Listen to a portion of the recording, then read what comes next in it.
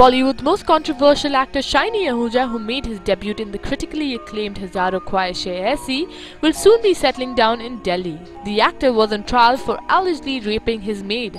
The Bombay High Court order has approved the bail only on one condition that the actor will have to leave Mumbai.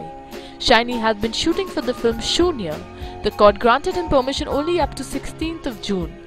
However, due to the shooting getting rescheduled, the actor's lawyer have sought extension for his bail.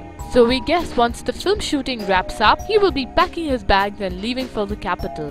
The 37-year-old Shiney who wanted to shine like a star in Bollywood ruined his career when he got involved in the rape case. He was an excellent actor and had done some great roles too. But we guess it's all destiny that the talented actor messed up his life.